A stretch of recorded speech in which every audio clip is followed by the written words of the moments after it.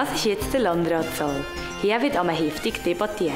Und das sind die 64 heiß begehrten Sitze. Kommen wir zu den letzten drei Kandidaten, die wir euch vorstellen wollen. In Altdorf tritt auch die FDP mit einer Jungpolitikerin an, nämlich mit Nicole Katri. Aber auch in Schattdorf kandidieren zwei junge Köpfe.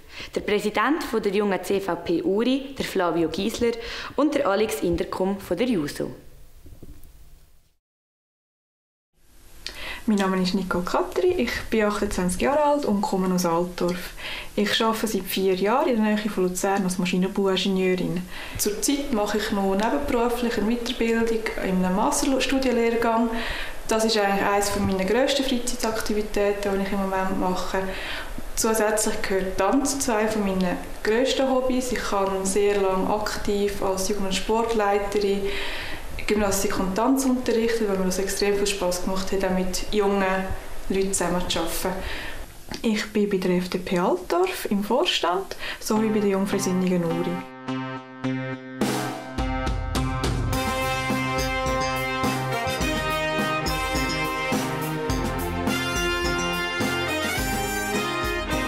Ich bin politisch aktiv, weil ich finde, dass, man, dass ich mich für meine Anliegen, auch, aber auch für die Anliegen von anderen will einsetzen Ich bin in der FDP bzw. der Jungfreisinnigen, weil das für mich die meisten Überschneidungspunkte gibt mit meinen Interessen, die ich als wichtig empfinde, mit den ganzen Aus Kernaussagen. Ich möchte mich im Landrat dafür einsetzen, für Pendler, da ich selber auch Pendlerin bin, dass man eine optimale Erschließung vom Kanton Uri, sei es über Bahn oder Straße, erreichbar ist. Vor allem, wenn man sieht, was für Sanierungen in den nächsten paar Jahren werden dastehen und dass man dort sicher ein relativ grosses Problem wird haben mit den Anbindungen vom Kanton Uri an die restliche Schweiz. Etwas Positives vom Kanton Uri ist unsere Bildung. Wir haben eine sehr gute Bildung, wir haben eine sehr gute Mittelschule, wir haben eine sehr gute Berufsschule.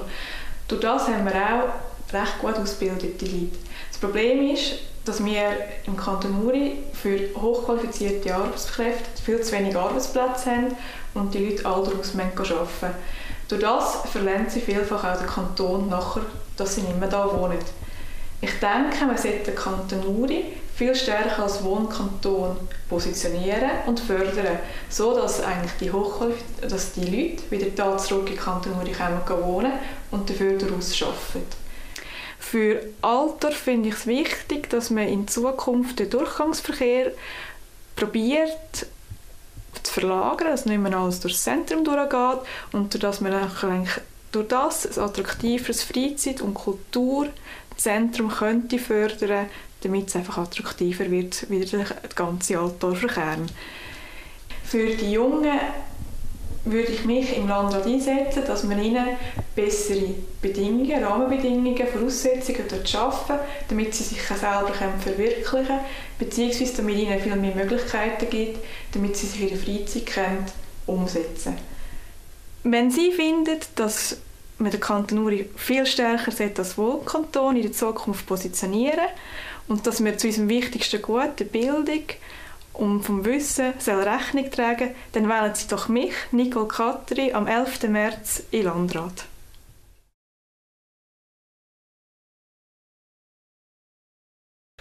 Mein Name ist Flavio Giesler. Ich bin 23, komme von Schattdorf und in der Freizeit da ich mich in der Jungmacht engagiere, bin dort Leiter, gehe jedes Jahr I&S-Kurse leiten. Äh, ich mache auch Musik, spiele bei Micho vom Postsack mit, Ländlermusik und bei den Krebers ein bisschen andere Stilrichtung. Und ich habe die Ausbildung zum Jurist gemacht, also Jus studiert. Das bin ich jetzt aber fertig und fahre jetzt das Anwaltspraktikum hier im Kanton Uria. Meine Partei ist CVP, respektive ich bin mit der Jung CVP Präsident.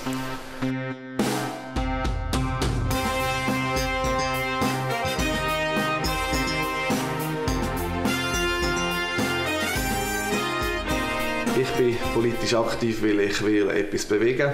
Ich finde, in der Politik ist gerade leider die Chance groß, dass es dass die falschen Leidtrigger kommen.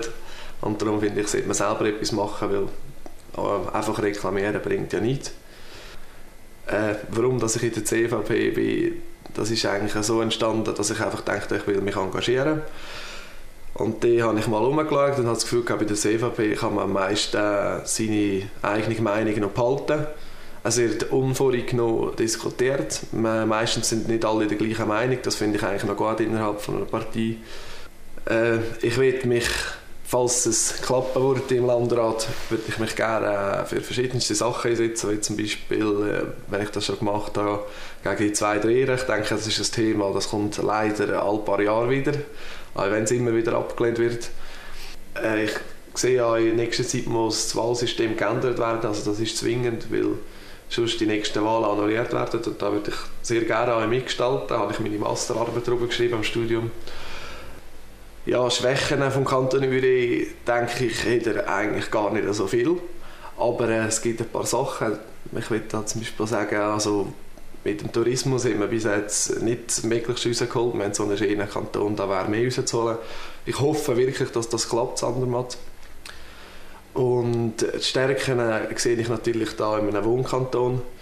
Wir haben ein schönes ländliches Gebiet, wenig Kriminalität, und man ist auch sehr gut abgebunden an den Rest der Schweiz. Also ich denke, gerade mit Telbus hat man da etwas sehr Gutes können schaffen, dass man da schnell zu Luzern ist. Für was ich mich einsetzen will, speziell für die Gemeinde Schattdorf, würde ich sagen, das wäre eben, dass seit der neuen Pflegefinanzierung die Gemeinde Schattdorf leider ein bisschen stark, also nicht ein Problem mit dem Geld, aber sehr viel Geld muss ausgeben. Sollte man schauen, dass man ein bisschen Gemeinden entlasten kann. Gerade Schattdorf hat da ein paar Projekte, die man unbedingt machen muss. Ich denke da vor allem an die Schulhäuser, an das Schwimmbad, die unbedingt saniert werden oder an ein Dorfkern, wo man gerne etwas machen will. Und mein Einsatz, den ich für die Jungen machen will, ist, ich will eigentlich schauen, dass es vor allem für die Vereine, den Vereinen auch gut geht, wo Junge engagieren. Ich denke, das ist vor allem das Wichtigste in einer Gesellschaft also ich denke da Sportvereine, aber auch Jugendvereine, die sich da mehrmals in der Woche für die Jungen engagieren. Ich denke, das ist das Beste, um den Jungen eine sinnvolle äh, Freizeitbeschäftigung zu bieten. Wenn sie eine Politik wollen, die weder rechts noch links ist, wo sie aber trotzdem immer wissen, woran sie sind, will ich meine Meinung immer klar sagen, dann wählen sie doch mich, Flavio Giesler, und dann setzen sie mich zweimal auf die Liste. Also ich bin der Alex Indekum, habe Jahrgang 1983, ähm, bin in Schattdorf geboren und arbeite in Schattdorf. Und so meine grössten Hobbys sind eigentlich Lesen, Kochen und ich gehe gerne ins Fitness. Beruflich habe ich zuerst eine Lehre gemacht als Chemielaborant und nachher eigentlich gerade mit 18 in die Heilpraktikerschule angefangen. Politisch bin ich Mitglied von der SP in der Geschäftsleitung bin ich Mitglied von der SP Uri bin Präsident von der Ortsgruppe Schattdorf, auch in der SP und einfach Mitglied von der JUSO.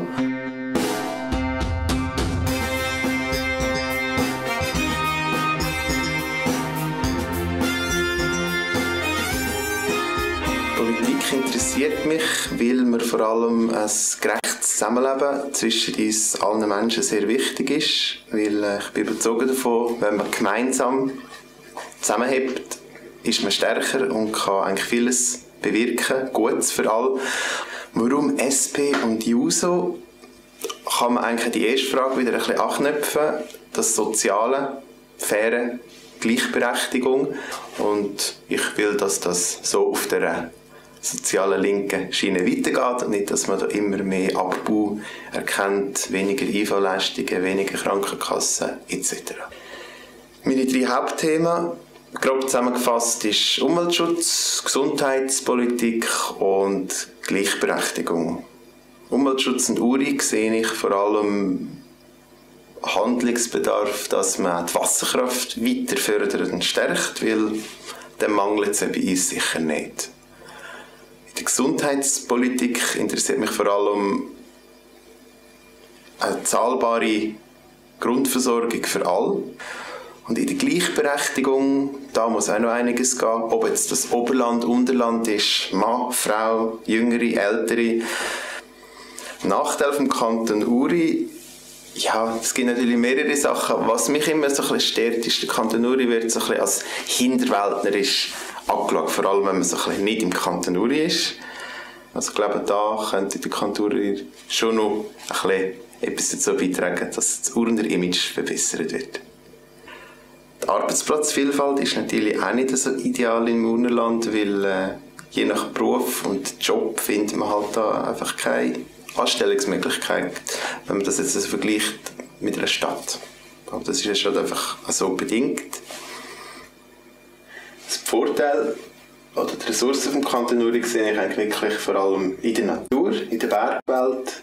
Und was ich auch ganz gut und ganz stark finde im Urnerland ist eigentlich so ein bisschen die soziale Vernetzung, so dass man kennt sich persönlich, man weiß, wer wer ist, wenn es einem nicht so gut geht. Ja, hat man Anteil. Wenn ich in Landrat gewählt werde, bin ich sehr bereit und dankbar, die Herausforderung anzunehmen und mich für Schattdorf und Uri einzusetzen, damit die Orte für alle sozialer, fairer und äh, auch gerechter gemacht werden Und ja, ich bedanke mich für jede Stimme, wo mir eigentlich ihr Vertrauen schenkt.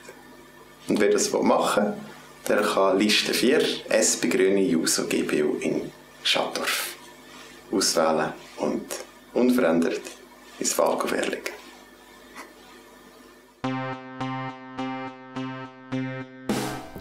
Auf dem Stuhl sitzt amix der höchste Ürner, also der Landratspräsident. Momentan ist das der Josef Schueller von Spierigen. Wer weiß, vielleicht geht der Platz in ein paar Jahren einem von diesen 16 Kandidaten, die wir euch vorgestellt haben. Das war es von unserer Wahlsendung. Hoffentlich habt ihr mit unserer Sendung die 16 Kandidaten ein bisschen besser kennenlernen Bleibt mir nur noch eins zu sagen. Danke vielmals fürs Zuschauen und nicht vergessen, am 11. März wählen.